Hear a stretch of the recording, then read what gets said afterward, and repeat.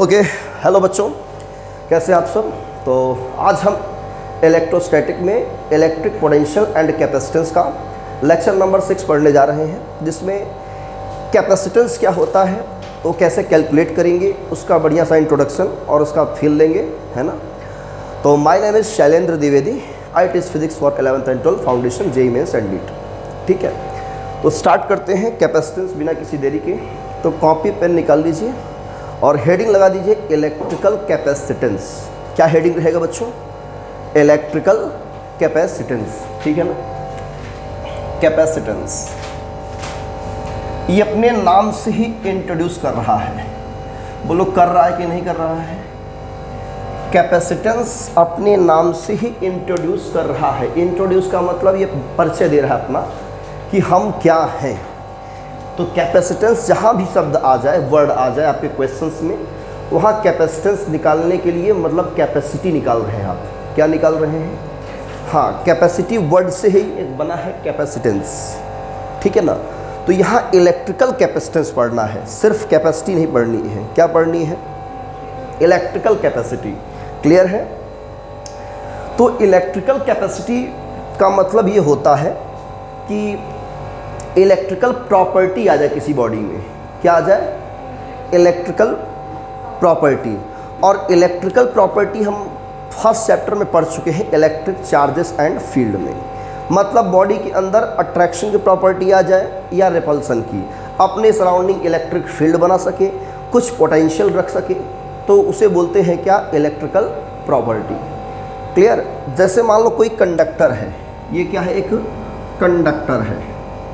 ये आप कंडक्टर कैसा मान सकते हो? स्फेरिकल कंडक्टर आप लोग को पता होगा कंडक्टर होता क्या है।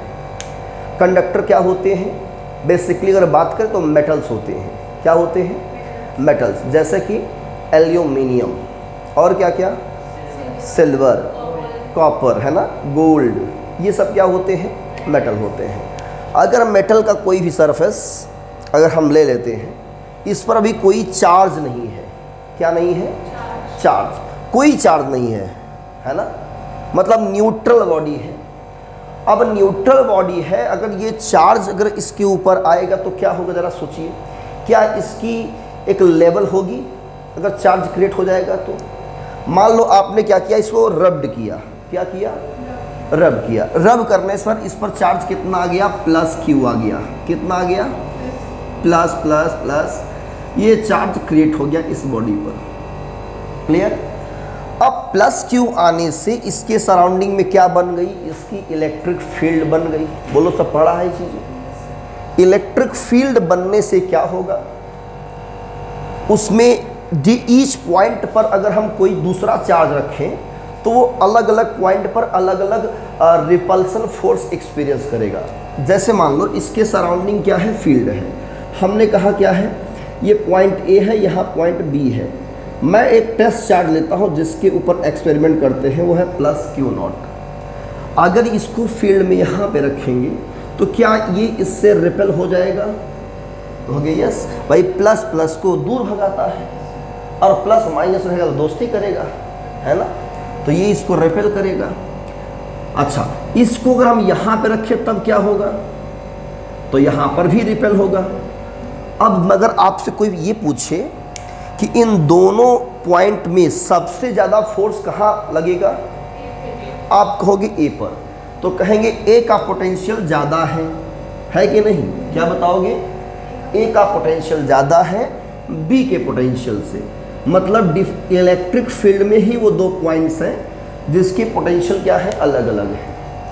इसका पोटेंशियल ज़्यादा, इसका पोटेंशियल कम, आगे जाएँगे और कम, आगे जाएँगे और कम। इस तरह से क्या होगा? पोटेंशियल इलेक्ट्रिक फ़ील्ड के डायरेक्शन में क्या होगा? डिक्रीज करेगा। क्लियर है ना? और मैक्सिमम पोटेंशियल कहाँ मिलेगा? आप लोग को मैंने प्रूविंग भी कराया है। इसके फोर्थ लेक्चर में। अगर आप लोग फोर्थ लेक्चर ना देखे तो आप जाकर Sanjay Pandey classes channel subscribe कर सकते हैं। इसी नाम से जिस कोचिंग का नाम है। और सब्सक्राइब करने के आप जाके क्लास ट्वेल्व में डालेंगे electric potential and capacitance lecture four डालेंगे तो वहाँ पे हमारा लेक्चर मिल जाएगा। ठीक है आप थर्ड लेक्चर में बारह लेक्चर हैं। तो सर्फ स्फेरिकल सरफेस अगर है तो in the direction of electric field potential घटता है और सरफेस पे क्या होता है? मैक्सिमम होता है। और जिसके लिए हम लोग ग्राफ हमने बताया है ग्राफ कुछ इस तरह से होता है। सेंटर से लेकर के अंदर तक पूरा सरफेस पे कांस्टेंट रहता है आउटसाइड इलेक्ट्रिक घटता है तो ग्राफ कुछ इस तरह बनेगा हमारा। क्लियर ग्राफ हमारा इस तरह बनता है वी वर्सेस आर का ग्राफ क्लियर है? इसका मतलब पोटेंशियल कहाँ पे होगा सबसे ज़्यादा? सरफेस पे। तो आप यहाँ क्या ऑब्ज़र्व कर रहे हो? जब चार्ज आपने दिया था, तब क्या पोटेंशियल था? नहीं था। जैसे ही आपने चार्ज किया, इसके सरफेस तो मैक्सिमम और आगे मिनिमम की बात होने लगी। बोलो हुआ कि नहीं हुआ? इस इसी एक्सपेरिमेंट को देखा गया और कहा गया। इसको किसने देखा मालूम है? फैराडे ने देखा। किसने देखा? हाँ माइकल फैराडे ने इसको देखा एक्सपेरिमेंट किया और ये ऑब्ज़र्व किया कि अगर किसी भी कंडक्टर को आप चार्ज प्रोवाइड करोगी चार्ज प्रोवाइड करने के तीन मेथड होते हैं। पहला है बाई फ्रिक्शन दूसरा इंडक्शन और थर्ड है कंडक्शन बड़ा है ना तीन मेथड तो कोई भी एक मेथड से अगर आप चार्ज प्रोवाइड करोगी तो उसका पोटेंशियल क्या होता है? ग्रो करेगा। अभी प्लस क्यू दिया है तो उसके करस्पॉन्डिंग में कुछ पोटेंशियल आ जाएगा। है ना? और अगर आप टू क्यू देंगे तो हो सकता है कि और कुछ पोटेंशियल आ जाए। थ्री क्यू चार्ज देंगे, हो सकता है और पोटेंशियल आ जाए। मतलब कहने का ये है कि आप चार्ज प्रोवाइड करोगे तो पोटेंशियल बढ़ रहा है। क्या बढ़ रहा है? पोटेंशियल अच्छा अगर इसका उल्टा बोला जाए, अगर कोई कहे कि पोटेंशियल बढ़ रहा है, इसका मतलब क्या समझेंगे? चार्ज भी बढ़ रहा है। बोलो कह सकते हो ना? तो पोटेंशियल हम लोग मेजर करते हैं। क्या मेजर करते हैं? पोटेंशियल चार्ज मेजर नहीं कर पाते हैं। Am I right in practically charge measure कब करेंगे? तो हम जब चार्ज मेजर करते हैं तो इलेक्ट्रिक करंट हम लोग देखते हैं पहले। I equal to Q by T तो Q equal to I into T लगा करके चार्ज निकाल लेते हैं। है कि नहीं? इसलिए इलेक्ट्रिक करंट फंडामेंटल क्वांटिटी होती है। आप लोग को यही पता है। तो चार्ज क्या है? डिराइव क्वांटिटी है। तो चार्ज हम लोग बाद निकालेंगे, लेकिन पहले क्या मेजर करते हैं? पोटेंशियल बोलो, यही मेजर करेंगे ना? तो पोटेंशियल पे चार्ज डिपेंड है, या चार्ज पोटेंशियल डिपेंड है, दोनों का सेंस एक ही है। तो ये बाई एक्सपेरिमेंटली इन्होंने बताया कि जब किसी भी बॉडी को चार्ज प्रोवाइड करेंगे तो उसका पोटेंशियल क्या होगा? इनक्रीज करने लगता है। क्या करने लगता है? इनक्रीज तो हमने मान लिया कि हाँ चार्ज कितना दिया? कैपिटल क्यू और इसका पोटेंशियल हो जाता है वी क्या होता है? वी तो by experimentally by experimentally Q is directly proportional to V ये कहा फेराडे ने। मतलब V बढ़ रहा है मतलब चार्ज बढ़ रहा है उस बॉडी पर। अगर ये बॉडी आप मानते हैं कंडक्टर है, अगर मानते हैं सपोज़ ये क्या है? कंडक्टर है कंडक्टर का रॉड है, मान लो आयरन का रॉड है। आपने चार्ज दिया मतलब इसका पोटेंशियल बढ़ा। अगर किसी ने कहा, नहीं पोटेंशियल बढ़ा इसका तो क्या कहेंगे? चार्ज बढ़ा है। क्लियर तो बाई एक्सपेरिमेंटल उन्होंने यही बताया पोटेंशियल ग्रो करेगा तो चार्ज ग्रो करेगा। तो Q is directly proportional to V उन्होंने बताया, और जब इसे इक्वल किया तो एक कांस्टेंट लिया C क्या लिया? C कांस्टेंट है इन टू वी ये प्रोपोर्शनलिटी कांस्टेंट है, और यहीं से C की वैल्यू निकाला तो वो बताया Q बाई वी इस प्रोपोर्शनलिटी कांस्टेंट को दिस प्रोपोर्शनैलिटी लिटी कांस्टेंट इज़ कॉल्ड कैपेसिटेंस यही क्या है? कैपेसिटेंस है। क्लियर ना? यही क्या है हमारा? कैपेसिटेंस है। तो ये बाई एक्सपेरिमेंटली इन्होंने निकाला। तो इसमें नोट क्या करेंगे? क्या इतनी बात क्लियर हो गई ना? कोई कंफ्यूजन नो तो लिखेंगे on increasing the charge on increasing the charge of a conductor its potential increases ये लिखिए फ़र्स्ट पॉइंट आप लोग. On increasing on increasing the charge of a conductor conductor its potential potential increases increases clear figure draw करके potential कितना होता है V by experimentally Q proportional to V clear equation number इसको बनाइए first तो video stop करके पहले आप लोग यहाँ तक नोट करें।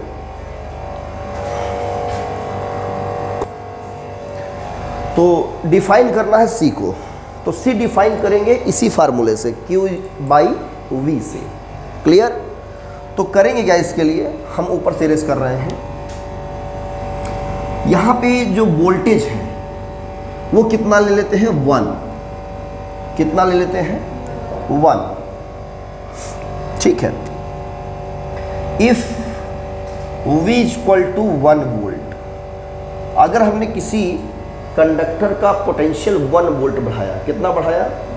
मान लो शुरू में उसका रहा होगा दस वोल्ट सपोज़ दैट कितना था? दस वोल्ट और दस वोल्ट से हमने क्या कर दिया? ग्यारह वोल्ट कर दिया। और एक वोल्ट बढ़ाने में चार्ज की जो रिक्वायरमेंट है वो कितना हो? वन कूलम्ब हो। कितना हो? One coulomb so by equation then by equation first capacitance कितना होगा? One coulomb per volt clear? One coulomb per volt तो यहाँ से हम डिफाइन कर सकते हैं। या ऐसे डिफाइन करिए, ये तो हो गया वन कूलम पर वोल्ट को डिफाइन करना। दूसरी बात, हम अगर डिफाइन करेंगे तो क्यों मत, क्यों नहीं लेते हैं? क्यों को छोड़ देते हैं? क्यों को छोड़ देते हैं? आप ये यूनिट पर डिफाइन कर रहे हैं यूनिट कैपेसिटेंस का। ठीक है? देन अब सिर्फ़ हम वी रखते हैं one volt by question first C equal to Q बोलो, हो जाएगा? अगर ये बताइए, हमारा ये 10 वोल्ट है और मैंने इसका 11 वोल्ट किया तो कुछ चार्ज लगेगा? तो जितना चार्ज लगेगा एक वोल्ट बढ़ाने में, उसी चार्ज को, उसी अमाउंट ऑफ़ चार्ज को हम लोग क्या कहेंगे? उस बॉडी का कैपेसिटेंस क्लियर है ना? उस बॉडी का क्या कहेंगे? कैपेसिटेंस एक वोल्ट इंक्रीज करने में किसी भी बॉडी का किसी भी कंडक्टर का पोटेंशियल एक वोल्ट बढ़ाने में जितना चार्ज रिक्वायरमेंट होती है वही क्या होती है उसकी? कैपेसिटेंस तो हम इससे डिफिनीशन देंगे। क्या देंगे इसका? तो कभी कभी आ जाता है डिफाइंड वन क्या देते हैं? डिफाइंड वन कैपेसिटेंस या डिफाइंड ओनली कैपेसिटेंस तो कैसे डिफाइन करेंगे? तो उसमें ऑप्शन में दिया रह, रहता है। है ना? Amount of charge per unit volt option A, option B में दिया रहेगा amount of charge per and to volt ऐसे रिक्वायरमेंट रहेगा, है ना? तो बच्चे बहुत ही कंफ्यूज होते हैं, कौन सा लगाएँ? तो कुछ लोग नन ऑफ़ दिस लगा देते हैं। एक ऑप्शन ये भी तो रहता है। उनको समझ नहीं आता कौन सा ऑप्शन सही लग रहा है हमें। तो डिफाइन करना ज़रूर सीखिए। Hence amount of amount of charge required required by a conductor. By a conductor. To increase increase its potential of 1 volt. Its potential of 1 volt 1 volt potential को इंक्रीज करने में जितना चार्ज की रिक्वायरमेंट होती है that is called to be capacitance तो आप इसको लिख सकते हैं वर्डिंग में. ये सब पॉइंट्स क्या है? बहुत इंपॉर्टेंट है। ठीक है? कॉन्सेप्चुअल पॉइंट्स है सब। ठीक है? वेरी कॉन्सेप्चुअल और यही कुछ बच्चों को नहीं पता होता। है फार्मूला तो सब रट्टा मार के दो चार क्वेश्चन न्यूमेरिकल सॉल्व कर लेंगे। लेकिन छोटे छोटे बातों में फंस जाते हैं। उसका कारण है कि बेसिक क्लियर नहीं होता। तो नोट करिए फटाफट इसको।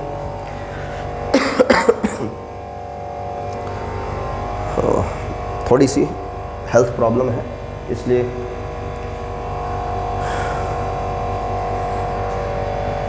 थोड़ा खुल के बोल नहीं पा रहा हूँ। फिर भी कोशिश कर रहा हूँ। क्लियर है? कोई प्रॉब्लम तो नहीं है वॉइस में? मुझे पता नहीं क्यों लग रहा है कि प्रॉब्लम है।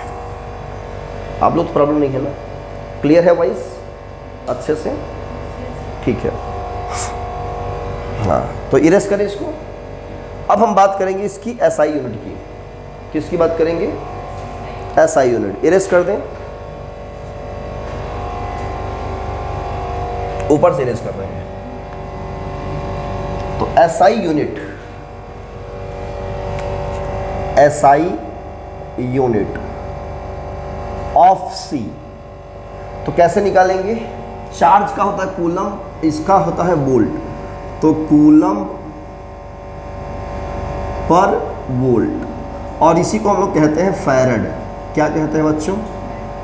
फैरड। कुछ लोग फराड पढ़ते हैं। क्या पढ़ते हैं? फराड। बच्चे पढ़ देते हैं। जब पढ़ाता हूँ तो कहते हैं, सर, फराड लिखे हैं क्या, सर आप? फराड और नहीं थे वो। फैरड है। वो अपना जो है फैराडे, जो ए वाई होता है, उसको हटा दिए। अब सब जगह फैराडे, फैराड, जो कि जो चार्ज की सबसे हाईएस्ट यूनिट होती है, मालूम है आप लोग को? चार्ज की सबसे हाईएस्ट यूनिट फैराडे होती है। इसलिए वो यहाँ पे फैराडे लगा लगा देते तो गड़बड़ हो जाता मामला। है ना? तो वन फेराडे होता है छियानवे हज़ार पाँच सौ कूलम। कितना होता है? पाँच सौ कूलम। पता ही नहीं होगा आप लोग को, है ना? वन फेराडे, याद रख, कहीं नोट कर लीजिए, वन फैराडे होता है छियानवे हज़ार पाँच सौ कूलम। ये बिगर यूनिट ऑफ़ चार्ज है। चार्ज की हाईएस्ट यूनिट तो कैपेसिटेंस में कैसे यूज़ कर सकते हैं? बताइए। क्या हम कैपेसिटेंस में यूज़ कर सकते हैं फैराडे? नहीं कर सकते। तो उन्होंने क्या किया? ए वाई को हटा दिया, क्या गया? फराड आ गया। मतलब फैरड पढ़ते हैं, है ना? फैरड। तो याद रखना आप लोग, कैपेसिटेंस की जो यूनिट होती है फैरड, और डिनोट करेंगे कैपिटल एफ़ से। तो one farad is equal to one coulomb per volt. तो यहाँ से भी वन कैपेसिटेंस को डिफाइंड होता है। किसको डिफाइन होता है? हाँ मतलब वन फैरड को डिफाइन कर रहे हैं हम लोग। वन फैरड कैपेसिटेंस को डिफाइन कर रहे हैं। ठीक है ना? ये है। तो जो यूनिट होती है, उसी से हम लोग उसकी बात करेंगे, उसी की पहचान होती है उसके यूनिट से। है कि नहीं? जैसे अभी हमने कहा 50 तो 50 से आप पहचान नहीं पा रहे किसकी बात हो रही है? है ना? अगर 50 के आगे हम लगा दें मीटर तो आप समझ जाओ कि लेंथ की बात कर रहे हैं। अगर मैं 50 के आगे कूलम लगा दूँ, समझ जाएँगे चार्ज की बात कर रहे हैं। और 50 के आगे मैं फेरेड लगा दूँ, समझ जाएँगे कैपेसिटेंस की बात कर रहे हैं। है कि नहीं? तो किसी भी क्वांटिटी की जो पहचान होती है बच्चों, वो उसके यूनिट से होती है। तो सबसे जो क्लास एलेवंथ में जो चैप्टर होती है units and measurement very important chapter होता है। उससे नीट में दो क्वेश्चन हर साल फिक्स होते हैं। दो क्वेश्चन एक डायमेंशन से और एक एरर से। क्लियर दो क्वेश्चन नीट एग्ज़ाम में फिक्स है। ठीक है तो 50 क्वेश्चन आपको फुटअप करने होते हैं फिजिक्स में। तो इरेज करें बेटा इसको। तो वन फैराडे कोई पूछे कितना होगा? वन फैराडे वन कुलम पर वोल्ट अच्छा अगर मैं ऐसा लिख दूँ, ध्यान दो कभी कभी एम में ऑप्शन में अगर लिखा रहे one farad is equal to अब आप लोग बताइएगा ना। Option A one coulomb per metre square B one coulomb farad inverse C one coulomb per farad square D none कौन सा ऑप्शन राइट होगा? बताइए। बहुत इंटरेस्टिंग क्वेश्चन है। One farad is equal to कौन सा ऑप्शन राइट है? B one coulomb farad inverse बोलिए।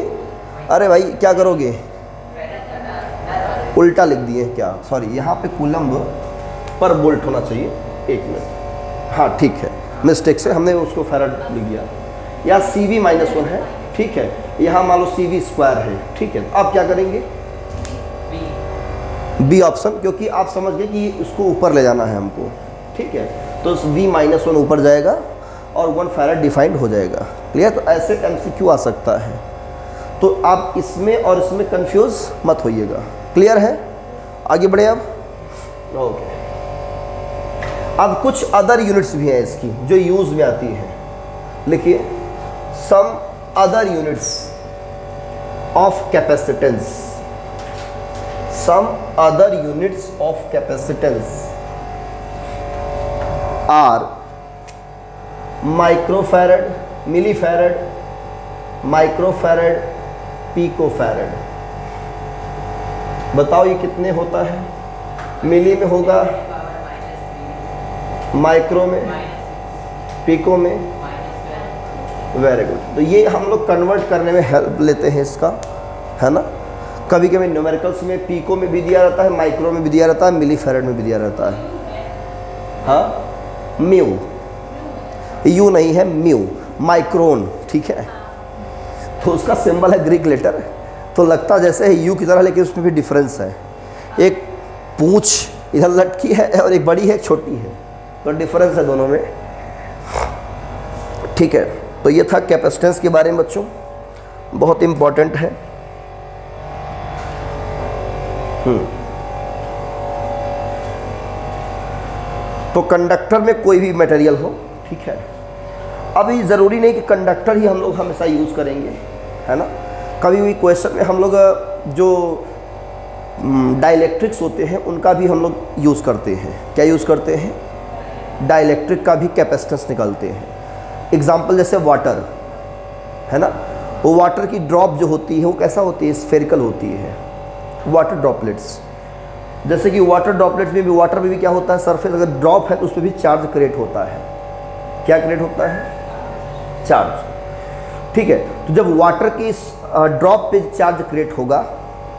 और कई ड्रॉप्स अगर मिलके एक बड़ी ड्रॉप बना रहे हो तो बड़े ड्रॉप पर चार्ज कितना होगा, बड़े ड्रॉप का पोटेंशियल कितना होगा, और बड़े ड्रॉप का कैपेसिटेंस कितना होगा? ऐसे क्वेश्चन नीट एग्ज़ाम में पूछते हैं। ठीक है, साथ में बोर्ड में बहुत रेयर केस पूछता है, लेकिन ड्रॉप वाले जो केस होते हैं, वो अक्सर नीट एग्ज़ाम में देखने को मिल जाते हैं। ठीक है तो ड्रॉप पढ़ने के लिए हमें किसी स्फेरिकल कंडक्टर का कैपेसिटेंस कैसे निकालते हैं? क्योंकि ड्रॉप स्फेरिकल शेप में होता है। बोलो होता कि नहीं होता? तो स्फीयर का किसी आ, किसी भी स्फीयर का कैपेसिटेंस कैसे निकालें? उसके लिए एक जनरल फार्मूला आपके पास होना चाहिए। बोलो होना चाहिए। तो अब हम लोग क्या सीखेंगे पहले? पहले सीखेंगे capacitance of a spherical conductor मतलब जो स्फीयर शेप में है उसका कैपेसिटेंस कैसे निकालेंगे? जनरल फार्मूला पढ़ लिया C equal to Q by V clear लेकिन प्रॉपर अगर प्रॉपर कोई स्फेरिकल कंडक्टर हो तो उसका हम लोग कैसे निकालेंगे? कैपेसिटेंस क्लियर जैसे कि एग्जांपल में आ जाए वाटर ड्रॉप्स ऑयल ड्रॉप्स है कि नहीं? तो ड्रॉप्स क्या होते हैं? स्फेरिकल होते हैं। अब उसमें कौन सा फार्मूला लगाएँगे? C equal to Q by V गलत हो जाएगा वहीं पे। वो बेसिक फार्मूला है है ना? तो अब हम उसी का हेल्प लेकर के अच्छे अच्छे लेवल का, है ना, बढ़िया बढ़िया लेवल का क्या निकालेंगे? कैपेसिटेंस का फार्मूला तो हेडिंग लगा दीजिए सबसे पहला. Capacitance of spherical conductor capacitance of spherical conductor conductor है ना? कौन सा कंडक्टर बस वाला. नहीं। कंडक्टर मतलब मेटल है ना? अगर कोई कंडक्टर ना हो तो हम कोई स्फेरिकल बॉडी ले सकते हैं, है ना? तो स्फेरिकल के केस में हम लोग यही यूज़ करेंगे। अब ये नहीं कि स्फेरिकल कंडक्टर सर ने हेडिंग लाया तो बस सर, बस यही लगाएँगे अब। कंडक्टर रहेगा तभी लगाएँगे। कंडक्टर अगर इंसुलेटर दीजिए तभी क्या करेंगे नहीं लगाएँगे अभी अप्लाई करोगे। ठीक है ना? वो तो हमने एक मोटा मोटा कंडक्टर नाम दे देते हैं, है ना? कैपेसिटेंस हेडिंग लगा दीजिए सब लोग capacitance of spherical spherical conductor spherical का मतलब स्फीयर माइंड में बैठा लीजिए बस। चलो एक हम स्फीयर बनाते हैं। ये है एक स्फीयर बन गया स्फीयर बोलो बन गया? बढ़िया लग रहा है स्फीयर अच्छा है? ठीक है। इसका सेंटर भी होगा? बोलो। यस सर सेंटर होगा। है ना? होगा ना? कोई कंफ्यूजन नहीं है ना? चलो, थोड़ा इधर ले लें। यहाँ पे। चलो, यहाँ लेते सेंटर है ओ अगर सेंटर होगा तो रेडियस भी होगा। चलो रेडियस ले लेते हैं। ये है आपका। रेडियस कितना ले लें? कैपिटल आर बोलो, ले लें। ठीक है। अब ये कंडक्टर कहाँ मानोगे? हवा में है कि वैक्यूम में है कि मीडियम में है? मान लो अगर तुम्हारे सामने रखा है तो हवा मानोगे, है ना? अगर मैं इसको ऑयल में डुबा के रखूँ तो क्या करोगे? तो मीडियम है। तो पहले मीडियम मान ले कि एयर वैक्यूम माने पहले एयर ले ले। तो जनरली जो क्वेश्चन फंसेंगे ना, वो सब एयर वाले ही रहेंगे। क्या रहेंगे? हाँ जो नीट के एग्ज़ाम में क्वेश्चन है मैक्सिमम एयर वाले ही क्वेश्चन मिलेंगे। ठीक है ऑयल ड्रॉप्स जो भी रहेगा ना, वो ड्रॉप्स से बेस रिलेटेड क्वेश्चन रहेंगे।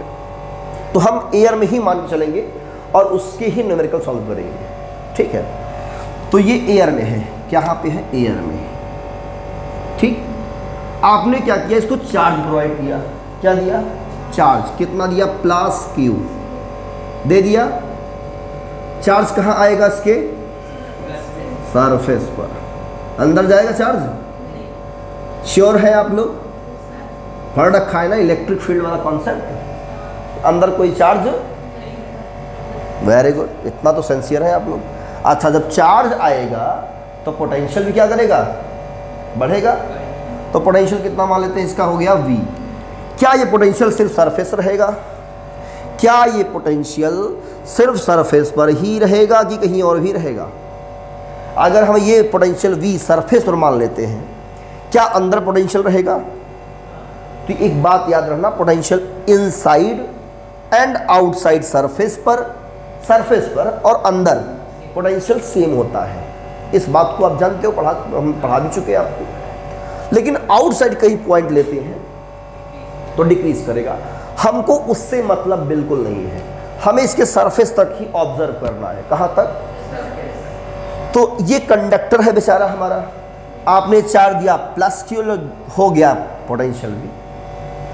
आपने और चार दिया ध्राम से, फिर इसका पोटेंशियल बढ़ गया। तो आप चार्ज देते रहोगे ये पोटेंशियल बढ़ता रहेगा। क्या हमेशा पोटेंशियल बढ़ता रहेगा इसका? चार्ज लेने की कैपेसिटी इसकी कम नहीं होगी? चार्ज हमेशा लेता रहेगा। मान लेते हैं, शिशिर को मोमोज खिला रहे हैं हम। ठीक है। मोमोज खाने दुकान पहुँचा। दस मोमोज खा लिया एक बार में। है ना? कितने? आप लोग कितने खा सकते हो? दस। मान लो हमने कहा, नहीं, बीस खाओ। खा सकते हो? नहीं खा पाओगे ना? जो भी मिलेगा, फेंक फेंक दोगे ना। यही करोगे ना? अरे, हटाओ, ले जाओ। उसको दे दो। यही कहोगे ना? मतलब आपकी जो भी खाने की कैपेसिटी है, वो भी एक लिमिट है। है ना? तो किसी भी कंडक्टर को अगर आप चार्ज प्रोवाइड करोगे तो इसकी अपनी एक क्या होगी? लिमिट होगी। उसी को हम लोग कहते हैं कैपेसिटी या कैपेसिटेंस क्लियर तो चार्ज करने की इसकी लिमिट है। तो हमने मान लिया कि कितना मैक्सिमम है? क्यू कितना मैक्सिमम चार्ज है इस पर अब इससे ज़्यादा चार्ज ये नहीं ले पाएगा। और इसकी करिस्पॉन्डिंग में पोटेंशियल कितना हो गया? वी तो कैपेसिटेंस कैसे निकालेंगे? C equal to Q by ठीक है। तो capacitance is given by capacitance is given by given by C equal to Q by V का यूज़ करोगे बच्चों। ठीक है? अब जो v है, वो कितना है, ये आपको पता लगाना है। v कितना होता है? सरफेस पे इनसाइड कांस्टेंट होता है। कहोगे के क्यू बाई आर ये होता है ना? तो because potential due to point charge V equal to K Q by radius लेंगे इसका आर बोलो, ये लेंगे। ओके रेडियस आर लेंगे तो हम के के प्लेस पे कुछ और रख सकते हैं। Four pi epsilon naught because K equal to क्या होता है? फोर पाई के वन बाई देखो, बोलते भी नहीं हो। One by four pi epsilon naught मतलब छापने में मगन हो गए हो। है ना? इसको उठा के यहाँ रख देंगे। तो भी कितना आएगा अपन को? कितना मिला। One by four pi epsilon naught Q by capital R equation number second इस वी की वैल्यू उठा के कहाँ पेस्ट कर दो? इसके प्लेस में। रख सकती हो। तो first and second C equal to Q by one by four pi epsilon naught Q by capital R Q से क्यू मर गया। ये कहा जाएगा? ऊपर। C equal to four pi epsilon naught into R हाँ आ तो गया formula equation number third I have done चलो नोट कर लो जल्दी से वीडियो पॉज करके।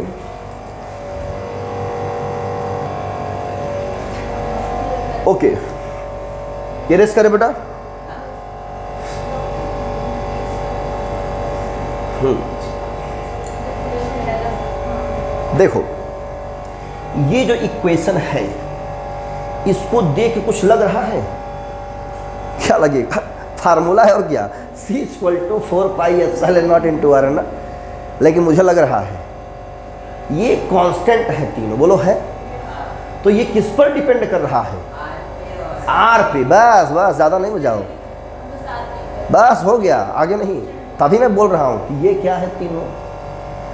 कांस्टेंट क्या ये भी वेरी करेंगे क्या? कि पाई की वैल्यू हर जगह चेंज होती रहेगी। प्लेस टू प्लेस ऐसा नहीं है ना? तो आर पर डिपेंड है, इस बात से एग्री हो। तो याद रखना by question four third C is directly proportional to R clear मतलब रेडियस अगर बढ़ेगा तो सी भी क्या होगा? और रेडियस बढ़ने का मतलब ये है कि बड़ा सा स्फीयर बनेगा। है ना? भाई, इतना छोटा सा स्फीयर है, इतना छोटा सा मान लो। उसका रेडियस बहुत कम है। और इतना बड़ा स्फीयर है रेडियस तो कैपेसिटेंस किसका ज़्यादा होगा? छोटे वाले की, बड़े वाले का? गुड तो क्वेश्चन में आपसे पूछेगा कि रेडियस नहीं पूछेगा। कि उसमें पूछेगा आपसे कि बड़े वाले रेडी किसका कैपेसिटेंस ज़्यादा होगा? स्मॉल स्फीयर की? लार्ज स्फीयर तो क्या बताएँगे आप? हाँ इसका कैपेसिटेंस सबसे ज़्यादा होगा। क्लियर तो रेडियस पर डिपेंड करेगा। रेडियस जितना ज़्यादा होगा कैपेसिटेंस उतना ही वो ज़्यादा चार्ज स्टोर कर सकता है। भाई, अभी आप लोग दस मोमोज खाओगे, मुझे ले चलोगे तो कितना खाऊँगा? मैं बीस तो खा ही लूँगा। अगर शर्त लग जाए तो। क्या सर और स्टूडेंट के बीच में लगा है मोमोज खाने का शर्त। कौन जीतेगा? तो आप देखेंगे कैपेसिटेंस हमारा ज़्यादा होगी थोड़ी सी अरे खाऊँगा नहीं, मज़ाक कर रहा हूँ। ठीक है? मैं खाता ही नहीं फास्ट फ़ूड जल्दी। तो कहने का सेंस ये है कि जो कुछ पर्सन की कैपेसिटी ज़्यादा होती है खाने की, कुछ लोग 20 रोटी खाते हैं 25 रोटी खाते हैं, कुछ लोग चार रोटी में थक जाते हैं। है कि नहीं? तो बड़े, जो बड़े होंगे, पहलवान लोग होते हैं, है ना? वो ज़्यादा कैपेसिटी होगी ना खाने की। और जो नॉर्मल लाइफ जी रहा है वो, कम खाएगा। ऐसे ही छोटा स्पीयर चार्ज कम स्टोर करेगा, बड़ा स्पीयर बस यही सिंपल सा लॉजिक है। इसको अपने रियल लाइफ से जोड़ दो फिजिक्स आसान हो जाएगी। बहुत ही आसान है फिजिक्स लेकिन आप लोग उसको ज़बरदस्ती का वो बना दिए हैं क्या? पहाड़। राई का पहाड़ कर दिए हैं, है ना? बहुत आसान है फिजिक्स ठीक है? तो रियल लाइफ से अगर आप जोड़ेंगे फील करके समझेंगे ना हाँ सच में ऐसा कुछ होता है। तो एकदम आपको मिलता जुलता हुआ समझ में आएगा कि हाँ फिजिक्स और रियल लाइफ में हम लोग में कोई ज़्यादा डिफरेंस नहीं है। सब कुछ नेचर ने हमको दिया है, हम लोग इसका यूज़ कर रहे हैं। क्लियर अभी भी डिस्कवरी बाकी है और डिस्कवर करना है। है ना? आइए बढ़ते हैं आगे। तो सी प्रोपोर्शनल टू आर अगर हम कहें कि ये किसी मीडियम में रखा हो, तब क्या कहें? अगर मान लो आ जाए बात तो। लेकिन न्यूमेरिकल की सफिशियंट आई है अगर मीडियम में हो तो क्या होगा? इफ़ स्फियर या spherical conductor is placed is placed in a medium of dielectric constant dielectric constant के then. तब सी मीडियम का फार्मूला होगा के टाइम्स इंक्रीज कर जाएगा और चार्ज स्टोर करेगा तब। मतलब four pi epsilon naught K into R ये हो जाएगा फार्मूला क्लियर है? और तब सी डिपेंड करता है के पर भी। ध्यान रखना, जितना ज़्यादा डाई इलेक्ट्रिक कांस्टेंट होगा उतना ज़्यादा चार्ज वो क्या करेगा? स्टोर करेगा। एयर या वैक्यूम का जो डाई इलेक्ट्रिक कांस्टेंट के है, वो होता है वन और अदर मीडियम का वन से ज़्यादा। तो के अगर अगर टू टाइम्स भी बढ़ गया तो कैपेसिटेंस कितना हो जाएगा? टू टाइम्स इंक्रीज कर जाएगा। बोलो, है कि नहीं? अगर किसी का के इक्वल टू टेन है, तब टेन टाइम्स बढ़ गया कैपेसिटेंस तो बताओ डाई इलेक्ट्रिक का फ़ायदा है कि नहीं है? चार्ज ज़्यादा स्टोर कराना तो क्या करेंगे? डाई इलेक्ट्रिक भरेंगे, नहीं भरेंगे। तो भरना ज़रूरी है। ठीक है, नोट कर लीजिए इतनी बातें।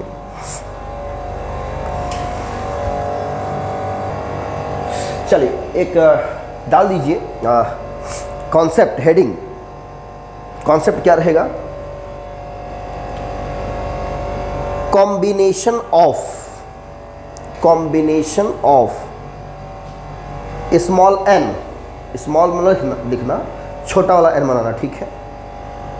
Combination of N spherical drops combination of N spherical drops ठीक है? मतलब यहाँ पर क्या हो रहा है कि एन स्फेरिकल ड्रॉप है एन की वैल्यू कुछ भी हो सकती है ना? 27 है ना? और 64 कुछ भी हो सकता है। तो एन स्फेरिकल ड्रॉप्स का कॉम्बिनेशन पढ़ना है। अगर वो कंबाइंड होते हैं तो क्या होगा? एक बड़ी ड्रॉप बनाएँगे। ये बात से आप एग्री हो? मान लो आपके पास मैंने छोटे छोटे 25 बूंद सत्ताईस ट्वेंटी सेवन ड्रॉप दिए। ड्रॉपर से मैंने निकाला इसे, एक ड्रॉप दो ड्रॉप तीन ड्रॉप 27 ड्रॉप्स आपके हाथ में रखा तो क्या वो आप, वो ड्रॉप बड़ी नहीं हो जाएगी? सोचिए ज़रा सा। बड़ी हो जाएगी ना? कंबाइंड होंगे अपने आप, वो कंबाइंड हो जाएँगे। और एक बड़ी ड्रॉप बना लेंगे। अगर कांटेक्ट में है तो। अलग अलग रखोगे तो हो सकता है कि ना कंबाइंड हो। लेकिन अगर कंबाइंड हुए तो एक बड़ी ड्रॉप ज़रूर बनाएँगे। क्लियर ना? इस पर क्वेश्चंस आते हैं नेट एग्ज़ाम में। चलिए बढ़े। ओके तो पहले हेडिंग लगा दी आपने। हेडिंग क्या लगाया आपने? Combination of N spherical drops तो पहले थ्योरी पढ़ लेते हैं फिर एक क्वेश्चन देती हैं। ठीक है ना? हाँ थ्योरी पढ़ लीजिए पहले। नहीं कहेंगे, सर थ्योरी नहीं पढ़ा है पहले क्वेश्चन उठा दे दिए है ना? इतने समझदार होते तो यहाँ क्यों आते? क्यों बच्चों है कि नहीं? है ना सर तो पहले थ्योरी पढ़ा दिया जाए। चलिए। तो एन ड्रॉप्स है, देखिए, ये है एन ड्रॉप्स हम थोड़ा सा डायग्राम बना रहे हैं, बच्चों। क्या बना रहे हैं? डायग्राम डायग्राम बनाना सबको आता है। ऐसे ये ड्रॉप बना लीजिए छोटा सा। ज़्यादा नहीं, आपकी मर्ज़ी, अपने हिसाब से बना लीजिए। ठीक है ना? ये हम मान लेते हैं एन ड्रॉप्स है। ठीक है? और ये बनाते हैं to form a single large drop single large drop. देखो, बन गया ना लार्ज ड्रॉप? वेरी गुड इसका अपना रेडियस होगा। अब ये बताओ, इसका रेडियस एक ड्रॉप का रेडियस क्या इसके ड्रॉप रेडियस के बराबर होगा?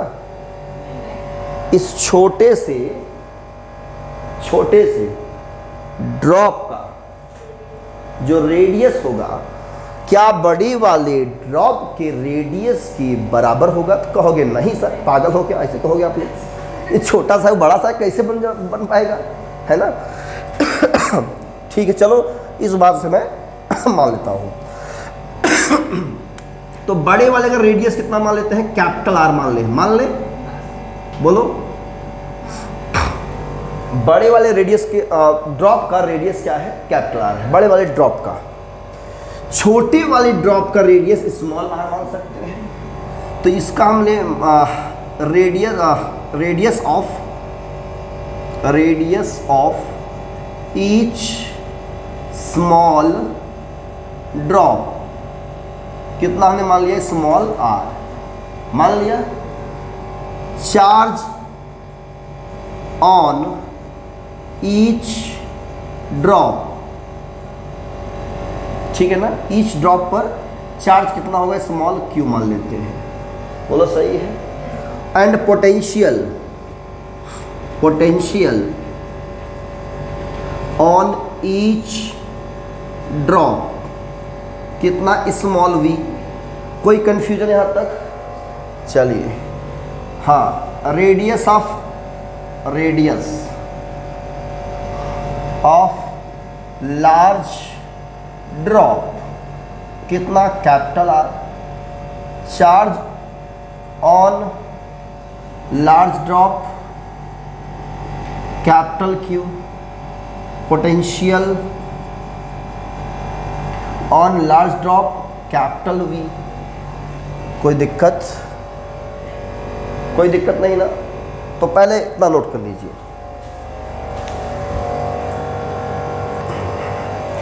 देखिए आपने सब मान लिया।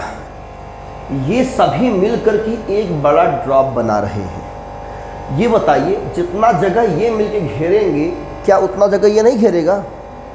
उतना ही जगह घेर रखेगा ना? भाई, यहाँ पे सौ लड़के हैं, सौ लड़के अगर घेर के रखे हुए हैं एक जगह पे, अगर उनको हटा करके एक उतना बड़ा जगह बना दिया इस पर सौ के बराबर तो बराबर होगा ना जगह? है ना? एक स्पेस मतलब कोई घर बना दिया जाए तो उतना ही बड़ा होगा। तो कहने का सेंस ये है जो इत, इतना जगह घेर रखा है उसका भी जगह उतना ही मिलेगा। तो कहने का सेंस ये है दोनों का वॉल्यूम बराबर रहेगा। क्या रहेगा? तो ऐसे जब क्वेश्चन मिले तो वॉल्यूम हमेशा क्या रहेगा? इक्वल होगा। तो हम ये कह सकते हैं क्या?